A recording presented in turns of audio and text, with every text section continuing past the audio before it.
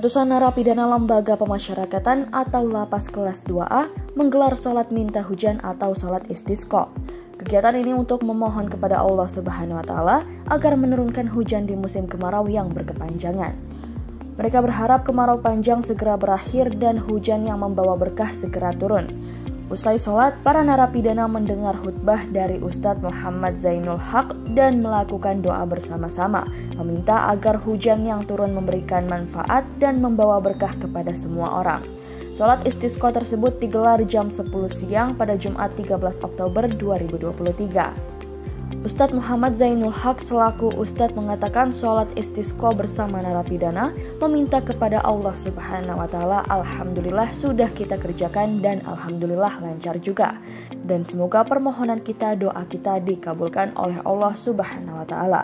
Kemarauannya luar biasa nih, suhunya luar biasa dan eh, ajaran kita, ajaran agama kita mengajarkan demikian kalau kita lama tidak turun hujan maka masyarakat bahkan sebenarnya eh, seluruh lapisan masyarakat mulai dari yang paling tinggi sampai bawah eh, mengajak untuk sholat istisqa dan kalau kita baca sejarah biasanya dulu istisqa itu diperkasai oleh katakanlah presiden atau gubernur nanti sholat bareng-bareng bersama rakyat biasanya insya Allah kalau demikian akan dikabulkan oleh Allah Subhanahu wa taala. Lanjut ia menjelaskan bahwa dari bulan Juni di beberapa tempat di Provinsi Banten, khususnya kota Serang mengalami kekeringan bahkan ada yang sampai gagal panen. E, tadi kita bersama para narapidana untuk melaksanakan sholat istisqa yaitu e, ibadah sholat yang dilaksanakan dalam rangka meminta hujan kepada Allah Subhanahu wa taala.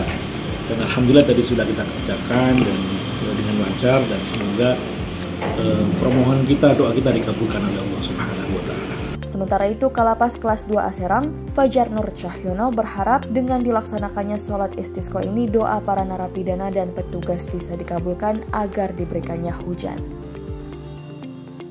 Kami juga di dalam lapas juga air juga mulai mengecil, apalagi di lingkungan sekitar, mungkin di Serang, kabupaten maupun kota juga ada daerah-daerah yang airnya juga sudah mulai mengecil memohon kepada Allah SWT melalui sholat dengan uh, sebagian warga binaan kurang lebih uh, seratusan dipimpin oleh Pak Ustadz.